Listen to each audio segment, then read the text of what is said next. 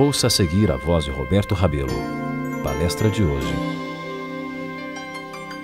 Alimentando-se para viver.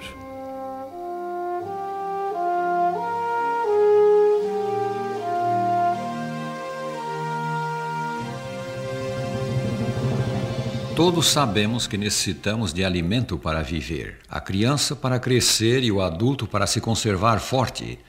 A boa alimentação contribui também para prolongar a vida e a tornar feliz.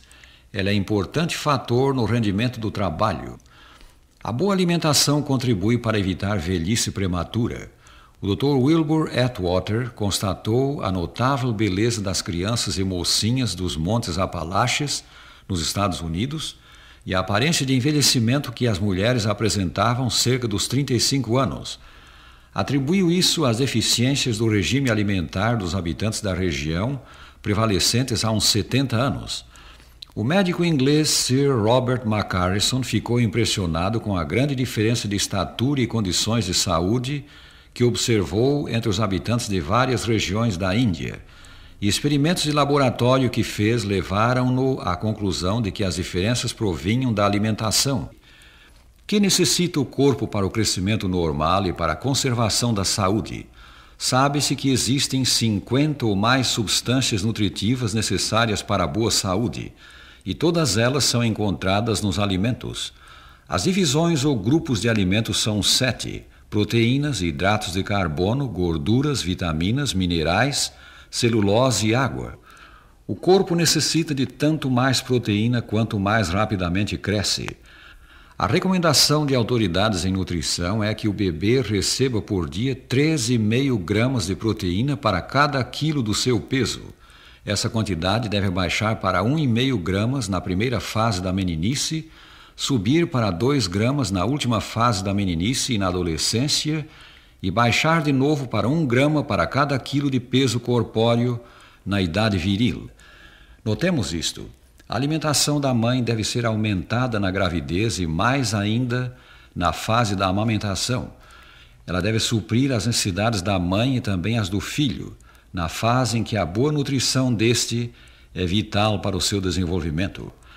A subnutrição durante esse período de rápido crescimento diz a doutora Zolber, pode não só impedir o crescimento do cérebro, mas também resultar em dano irreparável do funcionamento deste e da atividade mental.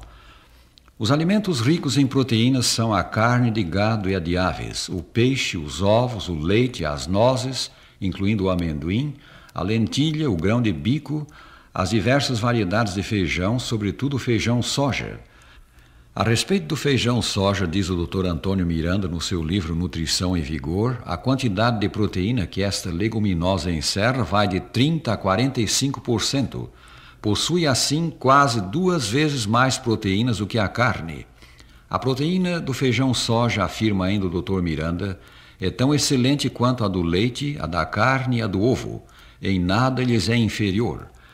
A propósito, há várias maneiras de preparar o feijão soja de modo a torná-lo apetitoso. Os que desejarem receitas gratuitas sobre como fazê-lo e também cópias da palestra que estão ouvindo, que no seu aspecto científico foi aprovada pelo Dr. Edgar Berger, diretor do Hospital Silvestre, poderão obtê-las da voz da profecia. Dos hidratos de carbono tiramos a maior parte da energia que necessitamos para nos movermos, para trabalharmos e para vivermos. Entre eles estão os açúcares e os amidos. As principais fontes deles são os cereais, as batatas, as frutas, os legumes e verduras. Eles devem constituir 50 a 60% dos alimentos que ingerimos. São os hidratos de carbono que fornecem a celulose, que, embora não digerida pelo corpo, serve para tonificar os intestinos e prevenir a prisão de ventre. Então temos a água que depois do oxigênio é o mais importante fator na manutenção da vida. Podemos viver sem comer por cinco semanas ou mais, sem água, porém, vivemos apenas poucos dias. 55 a 65% do peso do corpo é constituído de água. A água é o veículo pelo qual o corpo faz chegar os alimentos às células e também o veículo para a eliminação dos detritos. O corpo elimina a água constantemente Necessitamos beber muita água, seis a oito copos de água pura por dia em condições normais. Cuidar da saúde é um dever religioso. Deus está interessado no bem-estar físico do homem. Quando Jesus esteve na terra, ele gastou mais tempo curando do que pregando. Nosso compassivo Salvador quer nos dar saúde espiritual e também saúde física, mas necessita a nossa cooperação, nossa obediência às leis da saúde, entre elas a da alimentação nutritiva e saudável. Os que com Deus cooperam veem cumprido em si o desejo do céu expresso pelo apóstolo, 3 São João 2, Amado, acima de tudo, faço votos por tua prosperidade e saúde, assim como é próspera a tua alma.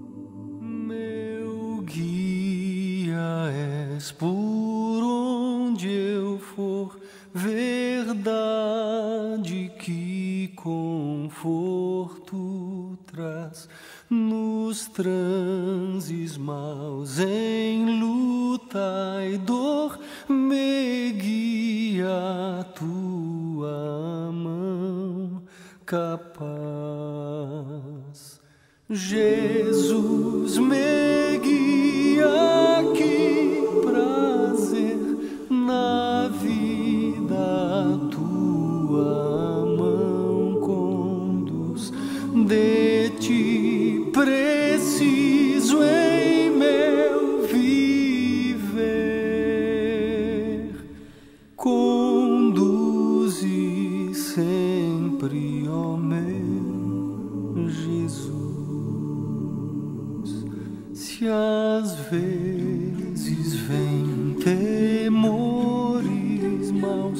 desgostos, mil perigo e dor, por bravo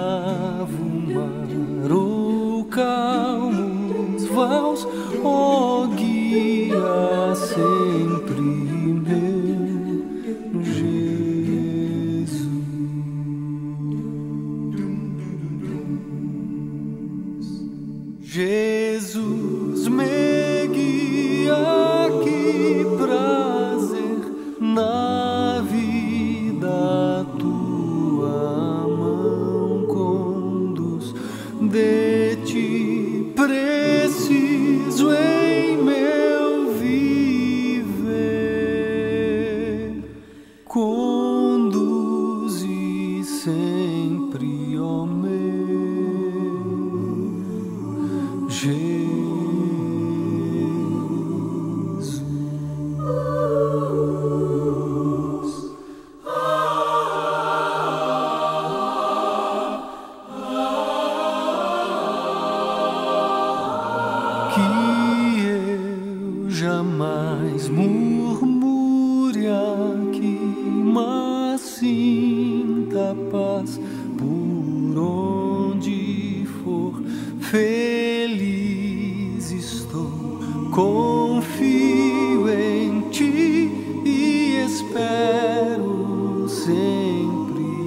te